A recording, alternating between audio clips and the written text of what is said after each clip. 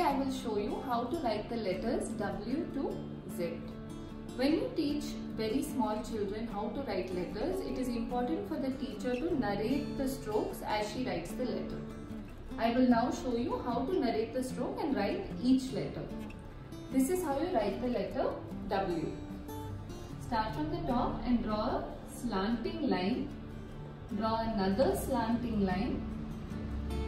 Bring a slanting line down and another slanting line.